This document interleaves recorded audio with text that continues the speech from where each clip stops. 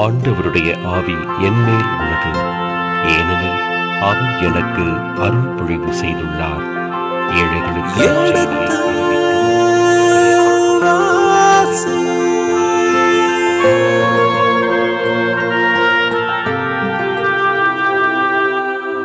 எடுத்து வாசி.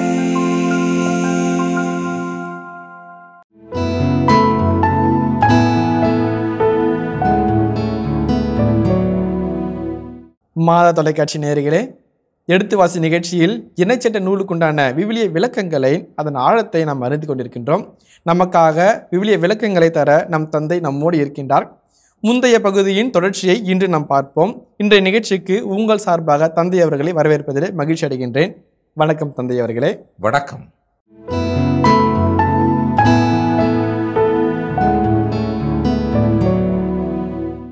இயேசு அந்த சூம்பிய கையுடைய பெண்ணை நோக்கி எழுந்து உன் உன் கையை நீட்டி நடுவில் நில் அப்படின்னு ஏதோ ஒன்று சொல்லுவார்.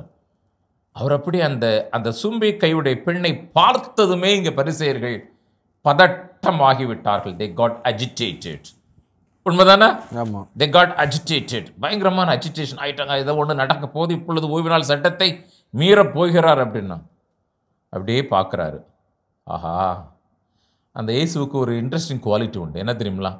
இந்த மற்றவங்க பதட்டமானா அதாவது ஒரு நன்மை செய்ய போகிறார் இதை கண்டு மற்றவர்கள் பதட்டம் அடைந்தார்கள் என்றால் அவருக்கு ரொம்ப ஜாலி ஜாலியாக இருக்கும். ஜாலியாக இருக்கும். ரொம்ப ஜாலியாக இருக்கு. ஆஹா அப்ப இன்றைக்கு ஒரு என்டர்டெயின்மெண்ட் இருக்குடா. இன்றைக்கு ஒரு என்டர்டெயின்மெண்ட் நமக்கு இருக்குடா அப்படின்னு சொல்லிட்டு ஓஹோ பதற்றம் அடைகிறேன் இந்த பெண்ணுக்கு நான் குணம் கெடுக்க போகிறேன்னு நினச்சிட்டு உங்களுக்கு நான் எழுந்து நடுவில் நில் என்று சொன்னார்.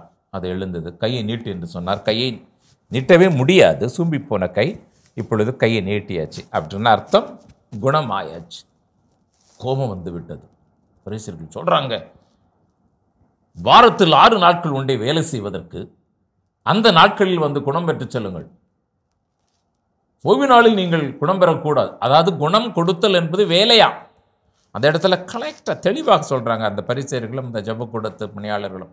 வாரத்தில் ஆறு நாட்கள் உண்டே வேலை செய்வதற்கு. அப்போ இயேசு அங்கே வேலை செய்திருக்கிறாராம்.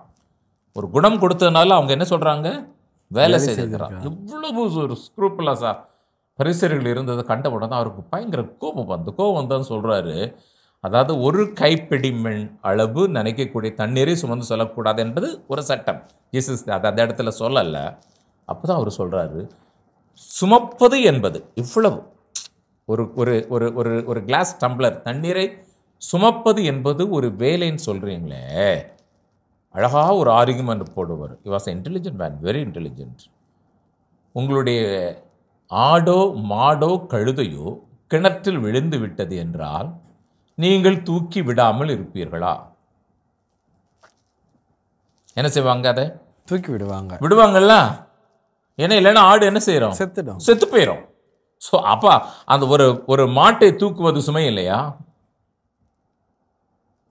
அதான் அவர் கேட்டார். என்ன ஓய்வு நாள்?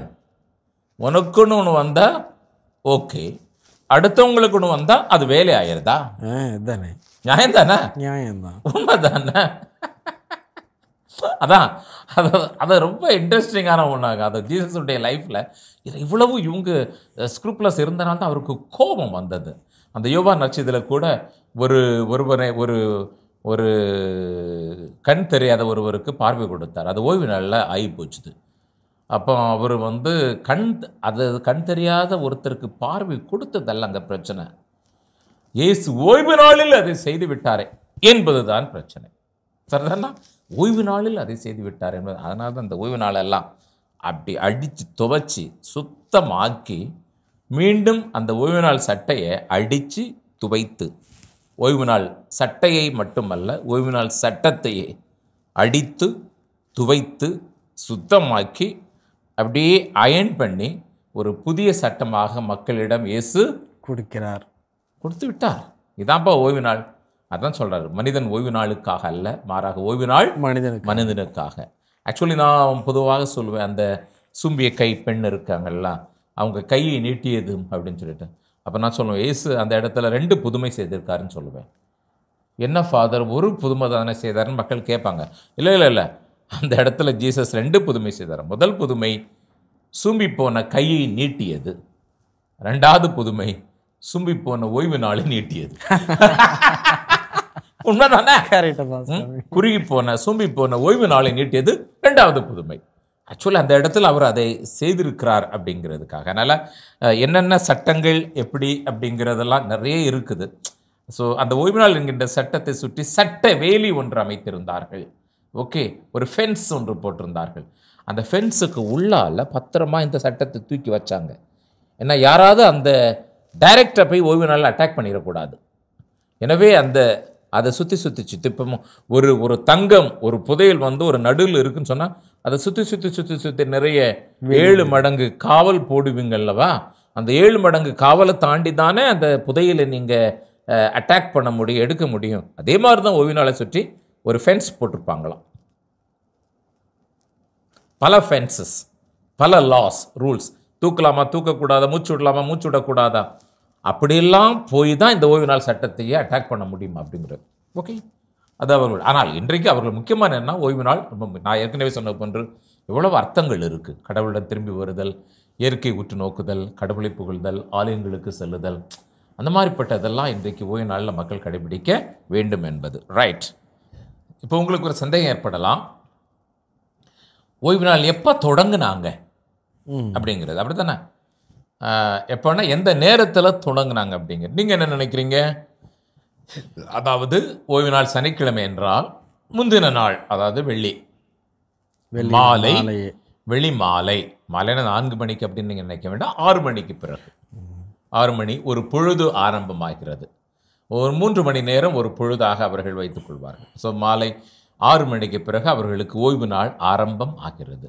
அது எப்படின்னு சொன்னால் இந்த ரபிகளுடைய விள விளக்கப்படியும் மற்றபடி அவர்களுடைய ப்ராக்டிஸ் படி என்னன்னு சொன்னால் அந்த ஓய்வு நாளை புனிதப்படுத்த மாலை நேர விருந்து ஒரு புகழ் பாடல் பாடி கிண்ணத்தில் ரசம் அருந்தி அதோட உணவு உட்கொண்டு அந்த ஓய்வு நாளை தொடங்குவார்கள். Like Jesus supper which became the last supper அவ்வளோதான் ஓகே ரைட் தந்தையவர்களே இந்த ஓய்வு நாள் என்பது வந்து அந்த இஸ்ரேல் மக்களுக்கென்று கொடுக்கப்பட்டதுன்னு சொல்லிட்டு நம்ம படி அறிஞ்சிட்டு இருக்கோம் உங்க விளக்கத்துல அவருடைய விளக்கப்படி. அவருடைய விளக்கப்படி. ஏன்னா மத்தவங்களுக்கு கொடுக்கல இவங்க தான் கொடுத்தாரு. அதால் நாங்க மேன்மையான இனம் அப்படிங்கிற இது சொல்லி அவங்களுடைய விருப்பமா இருக்குது. இப்படி இவங்க ஓய்வு நாள் அவர்கள் கொடுக்கப்பட்டது. அதுல வந்து எல்லோருமாக ஓய்வு நாள் கடைபிடிக்கணுங்கிற ஒரு கருத்துவை நம்ம இப்போ பகிர்ந்திருக்கிறோம். இதுல ஏதாவது ஒரு விதிவிலக்கு இருக்குமா? யாரா இவங்க எல்லாருமே அங்கிறப்போ வந்து ஏதாவது விதிவிலக்கு. ஓகே நான் இஸ்ரேல் கிடையாது. ஆனா நாங்க இருக்கிறேன். ம். ஆனா நான் அதை ப- பயன்படுத்தலாம் அங்க இருக்கலாம் எல்லாம் போகலாங்கிற ஒரு கருத்து இருக்குது. ஸோ அன்னைக்கு நான் கெஸ்டா போயிருக்கிறேன். இல்லை யாரும் கெஸ்ட் வந்திருக்கிறாங்க அவங்களுக்கு ஓய்வு நாள் தானா? அவங்களும் தண்ணி குடிக்கக்கூடாது சாப்பிடக்கூடாது இதெல்லாம் பண்ணக்கூடாதுங்கிறதெல்லாம் அப்படி இருக்குதா? அப்படிங்கிற ஒரு கருத்து. யார் யாருக்கு இருக்கா இல்லையா அப்படிங்கிறது. சரி. அப்போ அதுக்கு அஹ், நீங்க கேட்ட கேள்வி சரி. யார் யாரெல்லாம் ஓய்வு நாளை கடைபிடிக்கலாம்? கடைபிடித்து புனிதப்படுத்தலாம். ஓய்வு நாளை கடைபிடித்தால். ஓய்வு நாள் புனிதப்படுத்தப்படுகிறது. அவர்களும் புனிதப்படுத்தப்படுகிறார்கள். இந்த இரண்டையும் படைத்த கடவுளும் புனிதப்படுத்தப்படுகிறார். அதான் அந்த ஓய்வு நாள் அந்த கதோஷ் அப்படிங்கிறது. இப்போ பதினாலாவது வசனத்தை வாசித்தா அதுக்குடைய பதில் அங்கு இருக்கிறது. ஏழாம் நாளோ உன் கடவுளாகிய ஆண்டவருக்கான ஓய்வு நாள் எனவே அன்று நீயும் உன் மகனும் மகளும் உன் அடிமையும் அடிமை பெண்ணும் மாடு கழுதை மற்றெல்லா கால்நடைகளும் உன் வாயில்களுக்குள் இருக்கும் அந்நியனும் யாதொரு வேலையும் செய்ய வேண்டாம். நீ ஓய்வெடுப்பது போல உன் அடிமையும் அடிமை பெண்ணும் ஓய்வெடுக்கட்டும். ரொம்ப தெளிவாக அதில் கொடுத்தாச்சுது அதில் திரும்ப இருக்க முதல்ல உள்ள சென்டென்ஸ் மட்டும் திரும்ப இருக்க வாசிங்க. எனவே அன்று நீயும் உன் மகனும் மகளும். அடிமையும் நீயும் உன் மகனும் மகளும் அடிமை வரைக்கும் வந்தாச்சு. இடையில ஏதோ ஒன்று குறையுதே. ஒய்ஃபு ஆ ஒய்ஃப் யாரு? நீயும் உன் மனைவியும் மனைவி. சொல்லவே இல்லையே. அப்போ மனைவி இருக்க வேண்டாமா? கிடையாது. ஓ, ஆ, ஆ, கிடையாதா? கிடையாதான் கிடையாதுன்னு சொல்றீங்களா? கிடையாதான்னு கேட்குறீங்களா கிடையாதான்னு கேட்கிறேன் வெரி குட் அப்படி நம்ம கிடையாது நமக்கு ஒரு கன்க்ளூஷனுக்கு வந்துவிட. முடியாது. ஸோ அப்போ இணைச்சட்ட நூலை பார்த்து விட்டோம் என்றால் பல நேரங்களில் நீயும் என்று சொல்லுகின்ற பொழுது மனைவி வெளிப்படையாக குறிப்பிடப்படாமல் இருந்தாலும் அந்த இடத்துல என்ன குறிப்பிடப்படுகிறது என்றால் நீயும் உன் மனைவியும். சேர்ந்தே. சேர்ந்து சேர்ந்து. நீ என்பதிலே மனைவி அடங்கி இருக்கிறது இனி நாங்கள் இருவர் அல்லர்? ஒருவர். ஆமா. எனவே கடவுள் இணைத்ததை மனிதர் பிரிக்காதிருக்க அவர்களும் பிரிக்க விரும்பவில்லை. பார்த்தீங்களா ஸோ இதை நான் இப்போ சொல்றது இதை நான் சொல்றதுனால அப்படி இருக்குமா அப்படிங்கிறது இணைச்சட்ட நூல் பனிரெண்டு பனிரெண்டு வாசிங்க. அதாவது நீம் என்பது பொதுவாக தலைவன் தலைவி இருவரையுமே குறிக்கும் என்பதற்காக. நீங்களும் உங்கள் புதல்வரும் உங்கள் புதவியரும் அடிமைகளும் அடிமை பெண்களும். உங்கள் கடவுளாகிய ஆண்டவர் முன் அகமகிழ்வீர்களாக. சரி நீங்களும் உங்கள் புதல்வர்களும் புது அப்படின்னா மனைவி கிடையாதா? மனைவி இஸ் இன்க்ளூடட் அப்படிதானே? அதுக்கு தான் நான் சொல்ல வரேன். இணைச்சட்ட நூல் பதினாறு பதினொன்று. உன் கடவுளாகிய ஆண்டவர் தம் பெயர் விளங்குமாறு தேர்ந்தெடுக்கும் இடத்தில் நீயும் உன் புதல்வர் புதல்வியரும். அப்படின்னா மனைவி எல்லாம் கிடையாதா? மனைவி உண்டு. அது குறிப்பிட்டு தான் எங்கெல்லாம் நீயும் வருகிறது அங்கே குடும்ப தலைவன் தலைவி இருவரையுமே குறிக்கக்கூடியது இணைச்சட்ட நூல். ஓகே? அதனால நீங்க மனைவி கிடையாதுங்கிற மனைவியும் உண்டு. ஒரு அடிமை பெண்ணுக்கும் அடிமை ஆணுக்குமே இருந்தது என்றால் அடிமை பெண்ணுக்கு இருந்தது என்றால் உரிமை குடிமகளாகிய மனைவிக்கு ஏன் இருக்க முடியாது. எனவே மனைவியும் அங்கு கண்டிப்பாக உண்டு. நீ என்று சொல்லுவது அந்த இரண்டு பேருமே அங்கு குறிக்கக்கூடியது அது. அடுத்தது அடிமை அடிமை பெண் எல்லாருமே. விடுதலை பயண நூல் இருபத்தி மூன்று பனிரெண்டு. ஆறு நாள்கள் நீ உன் வேலை செய்வாய் ஏழாம் நாளிலோ ஓய்ந்திருப்பாய். இதனால் உன் மாட்டுக்கும் உன் கழுதைக்கும் ஓய்வு கிடைக்கும். உன் அடிமை பெண்ணின் பிள்ளையும் அந்நியரும் இலைப்பாறுவர் சரி. மாடு கழுதை ஆடு எல்லாருக்குமே ஓய்வு என்றால் மனைவிக்கேன் ஓய்வு இல்லை அது மட்டுமல்ல உன்னிலும் உன்னிடம் தங்கி இருக்கக்கூடிய வெளி இனத்தினர். அதை கெர் அப்படின்னு சொல்லுவாங்க. கெர் அப்படின்னு சொல்லுவாங்க. அந்த வெளியினத்தினர் கூட ஓய்வு நாளை அனுசரிக்க வேண்டும் அப்படிங்கிறது. ஸோ மேலே சொல்லப்பட்ட எல்லா பிரிவினரும் ஓய்வு நாளை அனுபவிப்பது மூலமாக அவர்கள் ஓய்வு நாளையும் தங்களையும் கடவுளையுமே புனிதப்படுத்திக் கொள்கிறார்கள். சரி. அடுத்த வசனத்துக்கு போமா? பதினைந்து. இந்த இணைச்சட்ட புத்தகம் குடும்பத்துக்கு முக்கியத்துவம் கொடுப்பதையும் நாம் பார்க்கலாம் இல்லைங்களா? கரெக்ட் குடும்பத்துல ஆணும் பெண்ணும் ஒன்று என்கிற அளவுக்கு எக்ஸாக்ட்லி இணைச்சட்ட நூல்ல அதிகமாக இது வருகிறது. இந்த இணைச்சட்ட நூலை நம்ம இதுவரைக்கும் பார்க்குற பொழுது இந்த இணைச்சட்ட நூலை அப்படி அப்படி அப்படி மேலோட்டமாக வாசித்திருப்போம். ஒரு பெண் உரிமை பற்றி அதிகமாக நம்ம இதை பற்றி இணைச்சட்ட நூலில் பெண் உரிமையெல்லாம் இருக்குமா அப்படிங்கிறது. ரொம்ப சமத்துவ பாங்கு இங்கு நிறைய இருக்கிறது நிறைய இருக்கிறது.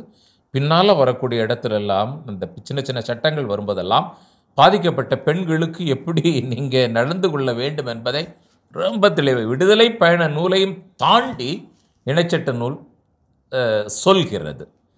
அதோ இப்போ கன்க்ளூஷனாக சாபத்து நாள் கன்க்ளூஷனை பார்க்குற பொழுது என்னதான் நீங்கள் ஆடு மாடு அனுமை பெண் அந்த உங்களிடம் தங்கியிருக்கக்கூடிய வெளிநாட்டினர் என்னதான் ஓய்வு நாளை கடைபிடித்தால் கடைபிடிக்க வேண்டும் என்று நீங்கள் சொன்னாலும் இஸ்ரேல் மக்கள் மத்தியில் இஸ்ரேல் மக்களுக்கு மட்டுமே ஓய்வு நாள் சிறப்பாக கொடுக்கப்பட்டது என்கின்ற எண்ணம் மிக மிக உறுதியாக இருந்தது. இதில் மாற்று கருத்து இடமே இல்லை. இல்லை. விடுதலை பயண நூல் முப்பத்தி ஒன்று பதினாறு பதினேழு. இஸ்ரேல் மக்கள் ஓய்வு நாளை கடைபிடிக்க வேண்டும் என்றுமுள்ள உடன்படிக்கையாக விளங்கும்படி தலைமுறைதோறும் ஓய்வு நாளை கைக்கொள்ள வேண்டும். இது எனக்கும் இஸ்ரேல் மக்களுக்கும் இடையே என்றுமுள்ள ஓர் அடையாளம்? ஏனெனில் எனக்கும்னா யாரு? யாவே கடவுளுக்கும் இஸ்ரேல் மக்களுக்கும் இடையே இருக்கக்கூடிய உறவுதான் இந்த ஓய்வு நாள். மற்றவங்களாம் கடைபிடிச்சு போங்க. ரொம்ப சந்தோஷம். ஆனா இது எங்களுக்கு ரெண்டு பேருக்கு இடையே இருக்கக்கூடிய ஒரு ஸ்பெஷல் ரிலேஷன்ஷிப் நீங்கள் கடைபிடித்தாலும் இந்த ஸ்பெஷல் ரிலேஷன்ஷிப் இருக்கும். மற்றவங்க மற்றவங்க. நீங்க கடைபிடிக்காமல் இருந்தாலும் இந்த ஸ்பெஷல் இவர்களோடு இருக்கும். கண்டிப்பா. மற்றவங்களை பற்றி கவலை இல்லை. மற்றவர்கள் ஓகே யூ ஆர் ரெக்கமெண்டட் இருக்கலாம். இருக்க வேண்டும் இருக்கலாம். ஆனால் எங்களுக்குள்ளே இருக்க தெளிவாக இருந்தார்கள். அதுல மாற்று கருத்து இல்லை. அடுத்தது பதினைந்தாவது அதிக வசனத்துக்கு சொல்லுவோமா எஸ் அமே எகிப்து நாட்டில் நீ அடிமையாய் இருந்தாய் என்பதையும் உன் கடவுளாகிய ஆண்டவரே தம் வலிய கரத்தாலும் ஓங்கிய புயத்தாலும் உன்னை அங்கிருந்து கூட்டி வந்தார் என்பதையும் நினைவில் கொள். ஆதலால் ஓய்வு நாளை கடைபிடிக்க வேண்டுமென்று உன் கடவுளாகிய ஆண்டவர் உனக்கு கட்டளையிட்டார். சரி ஓய்வு நாளை கடைபிடிப்பதற்கும் எகிப்து நாட்டில் நீ அடிமையாக இருப்பதற்கு என்ன தொடர்பு இருக்கிறது? ஓயாம வேலை வாங்கி இந்த இரும்பு சூளைன்றதெல்லாம் சரி. லிங்க் ஆகும். சரி. அதனால இதுல உறவு நான் தான் உங்களை மீட்டு வந்தேன் என் கூட நீ இருக்கணுங்கிற உறவு. சரி. அதாவது ஓய்வு நாளுக்கு எகிப்து நாட்டில் நீ அடிமையாக இருந்தாய் என்பதை நினைவில் கொள். எகிப்தில் நீ அடிமையாக இருந்தாய். ரொம்ப அந்த ஓய்வு நாளில் ஒரு பெரிய மனிதநேய பண்பு இருக்கிறது. யூதர்கள் மத்தியில் இந்த மனிதநேய பண்பு பாக் பார்க்குற பொழுது அது ரொம்ப சந்தோஷமாக இருக்குது எதற்காக ஓய்வு எடுத்துக்கொள்ள வேண்டுமாம் அதான் இதில் பார்க்குறது. நீ எகிப்து நாட்டில் நீ அடிமையாக இருந்தாய். அடிமையாக இருந்த பொழுது ஒரு நாள் உனக்கு ஓய்வு கிடைக்காதா என்று காத்து கிடந்தாய். எனவே இப்பொழுது நீ ஓய்வு எடுத்துக்கொண்ட ஓய்வு நாளை நீ நீ கடைபிடிக்கிறாய் என்றால் உன்னுடைய அடிமைகளுக்கு நீ ஓய்வு கொடு. ஏனென்றால் நீ ஒரு நாள் அடிமையாக இருந்தாய். அப்போது நீ இந்த ஓய்வு நாளுடைய அருமையை பெருமையை புரிந்து கொண்டாய் தெரிந்து கொண்டாய் காத்து கிடந்தாய். அதனை நினைத்து உன்னுடைய அடிமைத்தனத்தை நினைத்து இப்பொழுது உன்னோடு இருக்கக்கூடிய அடிமைகளுக்கு நீ ஓய்வு கொடு. அந்த அனுபவத்தில் இருந்து ஒரு பெரிய பாடத்தை கற்றுக்கொண்டு உண்மையிலே எனக்கு ரொம்ப சந்தோஷமாக இருக்குது அந்த ஓய்வு நாளில் இதுதான் மிக சிறந்த ஒரு பின்னணி பொருள். நிலத்திற்கு ஓய்வு எல்லாருக்கும் ஓய்வு தான். ஆனால் அது எதுக்காக நீ கட்டாயம் கடைபிடிக்க வேண்டும் என்றால் கடவுள் கடைபிடித்தார் என்பதற்காக மட்டுமல்ல நீ அடிமையாக இருந்தாய். அந்த அடிமையாக இருக்கிற பொழுது நீப்பட்ட வேதனைகள் துன்பங்கள் துயரங்கள் அதெல்லாம் பார்த்து உனக்கு ஒரு ஒரு நாள் ஓய்வு வேண்டும் என்று ஆசைப்பட்டாய் அல்லவா? இப்பொழுது நீ சுதந்திரமாக இருக்கிறாய். உன்னிடம் இருக்கக்கூடிய அடிமைகளுக்கு நீ ஓய்வு கொடு. அதை நினைத்து அதை மறக்காதே. எதை மறக்காதே? எகிப்து நாட்டில் அடிமையாய் இருந்து என்பதை மறக்காது. எனவே தான் ஓய்வு நாளும் எகிப்து அடிமைத்தனமும் ஒத்து போகும். சரிதானே? அதை நம்ம ஒரு சில பகுதிகளை வாசித்து நமக்கு இணைச்சட்டம் பதினைந்து பதினைந்து. எகிப்து நாட்டில் நீ அடிமையாய் இருந்தாய் என்பதையும் உன் கடவுளாகிய ஆண்டவரே உன்னை மீட்டார் என்பதையும் நினைவில் கொள். எனவே நான் உனக்கு இதை கட்டளையிடுகிறேன். சரி. எதை கட்டளை இருந்த ஓய்வு நாள் பற்றிய அந்த விஷயங்கள் எல்லாம் நான் உனக்கு கடை இன்னும் இன்னும் ஒரு சில விஷயங்கள் இருக்கு. அடுத்து அதனால இந்த ஓய்வு நாள் என்பது கடவுள் கட்டளை மட்டுமல்ல இஸ்ரேல் தன்னுடைய ஏழைகளுக்கும் அடிமைகளுக்கும் செய்ய வேண்டிய செய்யக்கூடிய ஓர் அறச்செயல்.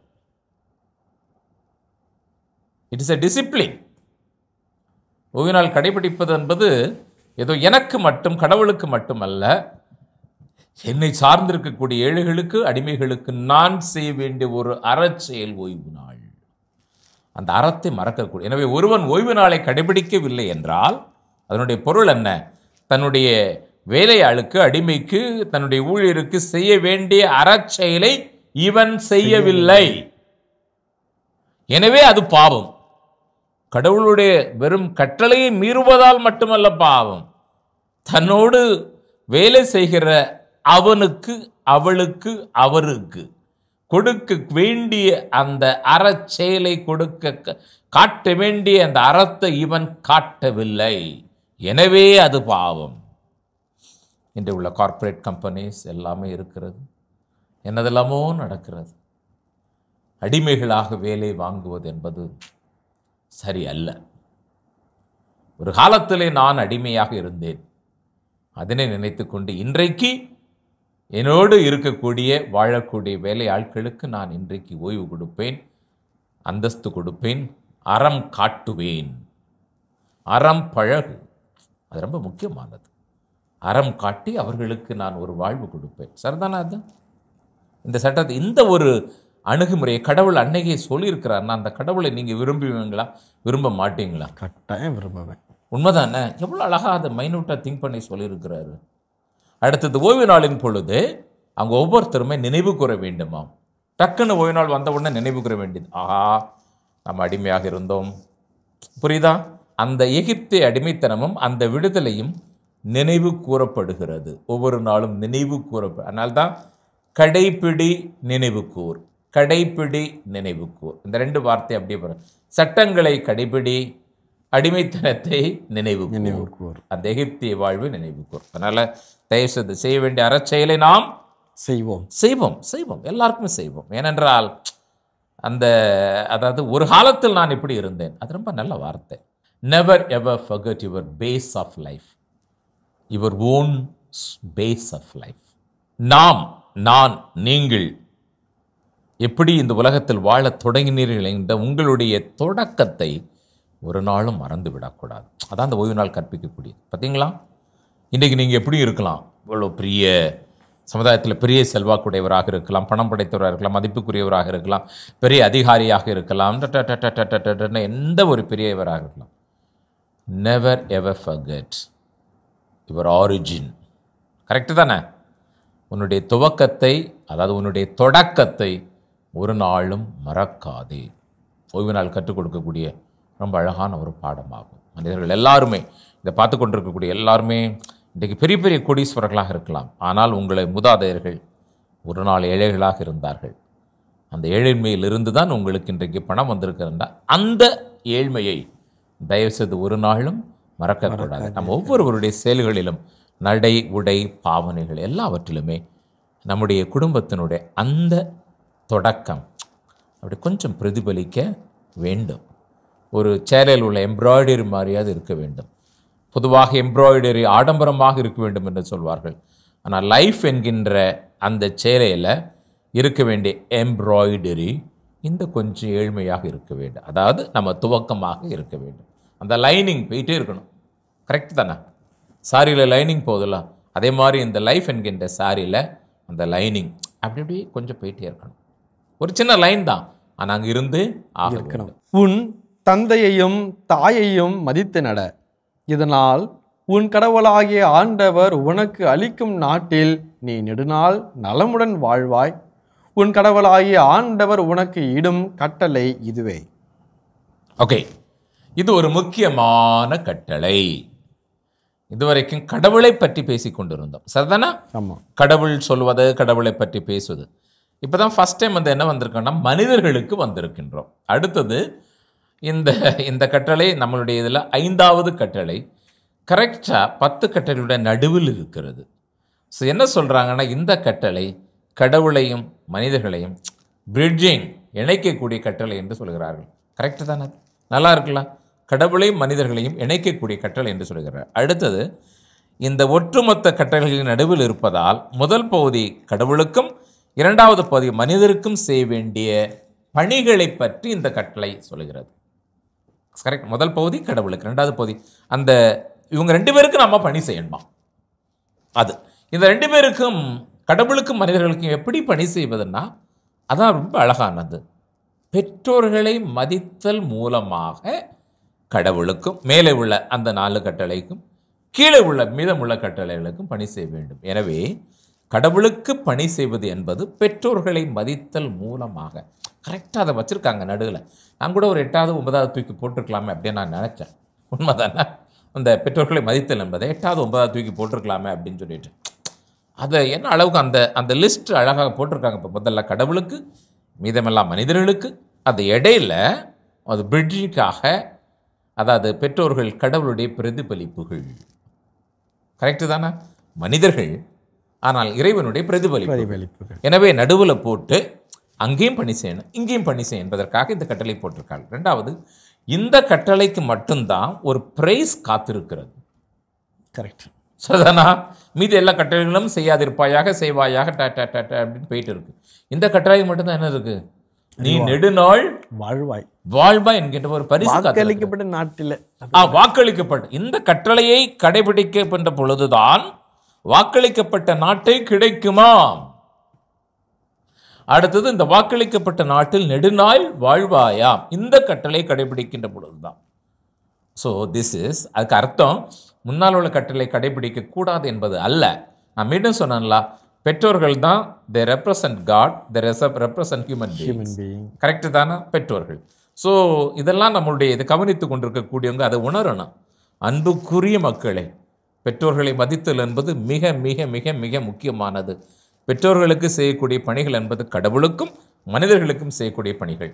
பெற்றோர்களுக்கு செய்யக்கூடிய மதிப்பு மரியாதை என்பது கடவுளுக்கும் மனிதர்களுக்கும் செய்யக்கூடிய மதிப்பு மரியாதை. அடுத்தது பெற்றோர்களுக்கு மதிப்பு அதாவது அவர்களை பேணி பாதுகாத்து வழிநடத்தல் மூலமாக ஒரு பரிசு. பத்து கட்டளைகளில் ஒரே ஒரு கட்டளைக்கு தான் பரிசு கொடுக்கப்படுகிறது என்றால் அது இந்த கட்டளைக்கு மட்டும்தான். வாக்களிக்கப்பட்ட நாட்டிற்கு நுழைய வேண்டும் என்றால் என்ன வேண்டுமாம்? பெற்றோர்களை மதித்து நடக்க வேண்டும்? நடக்க வேண்டும். பிளஸ் வாக்களிக்கப்பட்ட நாளுக்குள் நெடுநாள் வாழ வேண்டும் என்றால் என்ன வேண்டுமாம்? பெற்றோர்களை மதித்து நடக்க வேண்டும். சரிதான்? அப்போ இந்த கட்டளை ரொம்ப முக்கியமானதானே? ரைட் இனிய இதயங்களே எடுத்து வாசி நிகழ்ச்சியில் இணைச்சட்ட நூலுக்குண்டான விவிலிய விளக்கங்களின் ஆழங்களை நாம் அறிந்து கொண்டிருக்கின்றோம்.